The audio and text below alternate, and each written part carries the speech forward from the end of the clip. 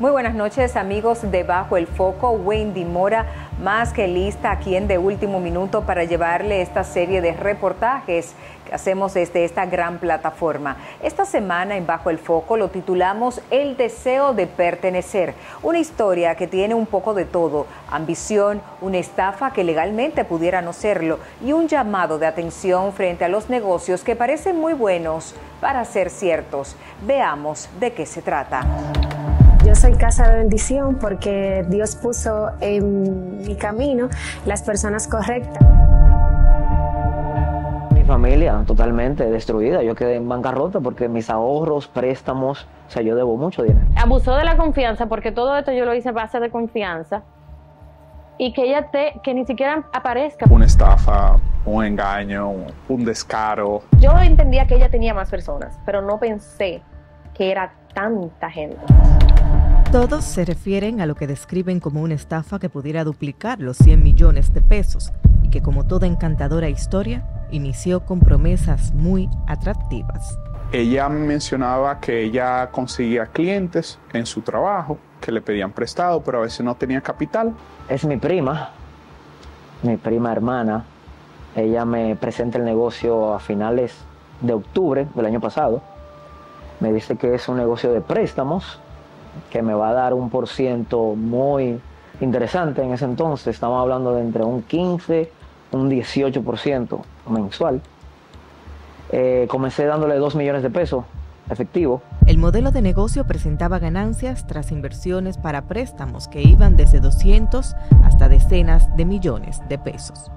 Eh, nosotros tenemos, en pagaré notarial, tenemos 8 millones de pesos te puedo decir que en mi casa debe de haber en un total más o menos de 39 millones de pesos. Todos pertenecían al círculo cercano de la mente maestra del negocio.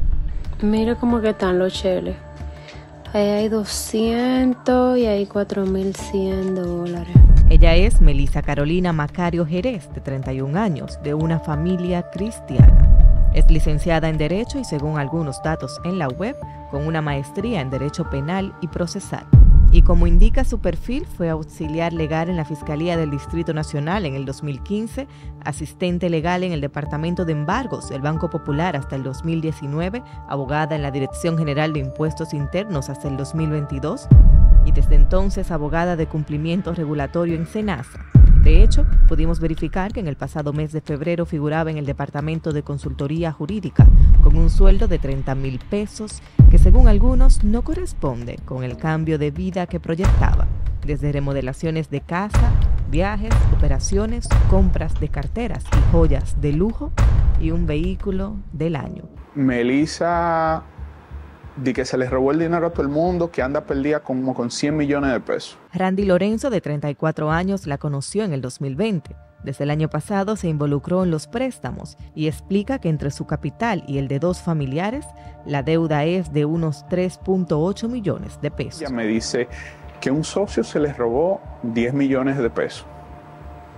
Que en el momento yo no entendía la magnitud, la cantidad de personas que estaban involucradas sentí que el número era gigante. Según los denunciantes, por lo menos 65 personas que representan familias están siendo afectadas, sin que hasta el momento tengan ninguna pista de Melissa, ni siquiera su amiga más cercana desde hace más de 14 años. Se inventó que les robaron un dinero, eh, que un socio les robó un dinero, un socio que nadie conocía.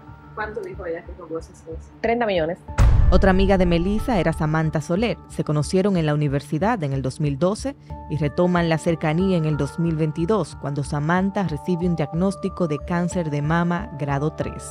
Me dieron mucha quimio, me dieron... Eh, después de la quimio a mí me operaron en, en febrero del año pasado, perdón, ay Dios. Y después me dieron radio. Cuando me estaban dando radio fue que yo comencé a ir a la iglesia. Todo lo que conseguíamos se lo pasábamos a Melissa. ¿Por qué? Porque que mensual teníamos que gastar muchísimo dinero. Entonces así fue que fue fluyendo el negocio, por eso llega, después se, mi papá lo pensionaron, mi papá le pasó todo su dinero a Melissa de su pensión de, de 30 años trabajando. En diciembre del 2023 y ya con algunos incumplimientos a sus inversionistas ante la insistencia, Samantha le entrega el dinero de su segunda operación a Melissa. Me dijo, manita, es por una semana, tú sabes que yo nunca te he quedado mal, eh, pásame lo que en una semana yo te lo doy. Al ella decirme que en una semana, que fue el peor error que yo cometí, le pasé el dinero de mi operación. Nunca obtuvo el retorno del dinero, ni el de sus padres, y aún debe costear 10 años de tratamiento que periódicamente le cuesta unos 86 mil pesos. Nosotros tuvimos que buscar el dinero prestado. Eh, yo tenía que pagar mi tratamiento, yo tengo que pagar mi tratamiento cada tres meses, tengo que inyectarme, igual tengo que seguir buscando el dinero y Melissa no aparece. Mi papá no trabaja, mi mamá tampoco. Eso era lo único que yo tenía. Y yo siento que esa responsabilidad es mía.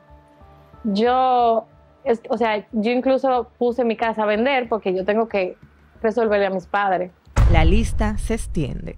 Eric Rafael Pimentel, de 33 años, invirtió unos 320 mil pesos. Noeli Torres, de 31, amiga de la universidad, unos 210 mil pesos. Y en las conversaciones con esta se observa cómo Melissa insistía en las inversiones. Indicaba poner cualquier descripción para evitar situaciones con la Dirección General de Impuestos Internos. Incluso aseguraba que era la responsable del dinero si alguien quedaba mal, hasta que jamás volvió a responder. Y lo de evadir la atención de las autoridades ya era rutina tomé un préstamo por un vehículo de 600 mil y algo de pesos, de los cuales yo le entregué a ella 550 mil pesos. Se lo transferí desde mi cuenta de bancos a una cuenta de ahorros que ella tiene en el VHD. Eh, me dijo específicamente que le pusiera una descripción como venta de algún electrodoméstico Geraldine Hermes también invirtió 8 mil dólares, Catherine Camacho 200 mil pesos, Tyron Rodríguez más de un millón de pesos. Jeremy Herrera, de 29 años, con su familia, invirtieron unos 3.7 millones de pesos. En algunos casos hacían un pagaré notarial a su nombre y en otros solo transferencias sin más o entregas en efectivo. Que lo podemos hacer entre tú y yo, vez que yo lo hago con las otra gente Mira que con una gente yo tengo 4 millones, con otra tengo 5 y así. Pero entre las decenas de afectados que aseguran sentirse estafados, no solo hay conocidos o amigos cercanos, incluso hay familiares directos, como Daniel García, un primo, a quien le adeuda unos 10 millones de pesos. Nunca le pedí que me firmara nada por la familiaridad que yo tenía con ella. Aparte de que su familia es muy de la iglesia, incluso me enteré que el martes de Semana Santa involucró a unas personas. O sea, ella sigue haciendo eso con 825 mil pesos. Es tan que como quiera sigue. O sea, ella sabe en lo que está y aún así sigue eh, estafando personas. Lo que queremos es que ella pague. Hasta dos días que tú te veas privado de tu libertad. Que tú no te puedas dormir a la hora que tú quieras. Que tú no puedas comerte la comida que te hace mami. Levantarte a la hora que tú quieras eso para mí es suficiente para que ella vea que él con el sudor ni con el trabajo de otra persona se relaja. Según un acta de denuncia del 13 de febrero del 2024, está acusada por estafa simple y asociación de malhechores. Involucra a nueve personas, incluyendo a una de sus amigas, que hoy la denuncia como estafadora. Y según las conversaciones con la misma, Melissa le indicaba que se solucionaría el problema y que sus padres serían los primeros en recibir su pago. Melissa Carolina Macairo Jerez encabeza la lista. Con tipos penales y civiles, la querella establece que en octubre del 2021 el denunciante conoce a Macario, quien en conversaciones posteriores le invitó a invertir, entregando 4.600.000 pesos. Indica el documento que además la imputada cortó la comunicación siendo imposible su ubicación por más de un año. Y la última información de ella es que ella se mueve de Airbnb en Airbnb el 16 de marzo, ella mandó un mensaje a modo de, de BC diciendo que todo cualquier cosa, contactar a su abogado. Civil o penal, lo cierto es que hay evidencias de decenas de millones de pesos, de acuerdos de pagos y de que alguien no está dando respuestas al compromiso adquirido. y no con particulares, sino con amigos íntimos y hasta familiares. El abuso de confianza, es el abuso de, de, de todas las atrocidades, toda la mentira que una persona fue capaz de crear, de manipular a un grupo de personas que de buena fe te dio un dinero que tú no sabías para que... Los pagarés, transferencias y recibos son la prueba del dinero entregado, pero también son la prueba que pudiera desestimar la estafa, según el abogado de la imputada, aunque en algún escenario tendría un juez que decidir si es o no una estafa, que como explica el abogado constitucionalista Francisco Álvarez en su cuenta de Twitter, la misma como tipo retiene por elementos constitutivos básicos un engaño orquestado para convencer a una víctima de entregar fondos y perjudicarla económicamente. Si esto no es lo que ha pasado con el caso de Melissa Macario, ¿qué sería la estafa?